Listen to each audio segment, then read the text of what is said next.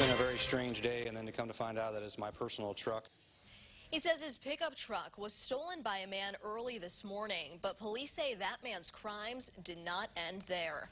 Good evening, I'm Jessica Coons.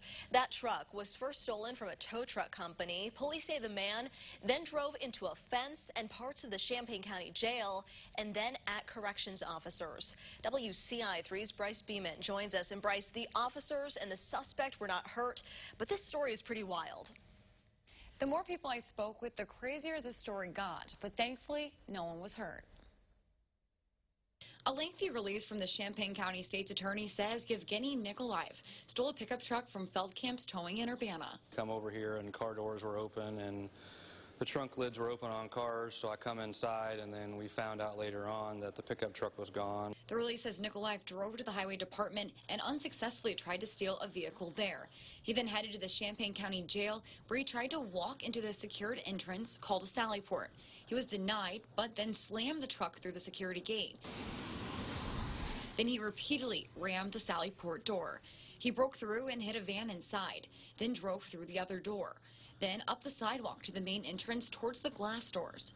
The state's attorney says when corrections officers confronted him, he drove at them.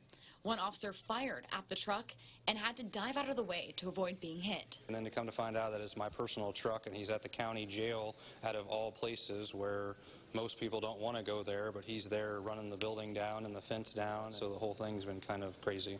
The state's attorney says after all of that, Nikolaev drove away from the jail. Nikolaev then crashed into a ditch at the intersection of Main and Lierman. He ran away to a parking lot of Illini FS.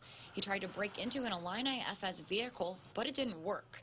He then tried to pull a woman out of her truck. She was able to fight him off as police arrived. Officers chased him to the Illini FS building, where he was finally taken into custody.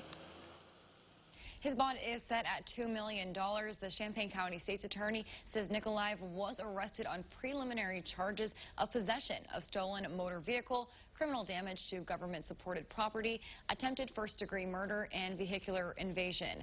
This is still an ongoing investigation by Illinois State Police. Jessica?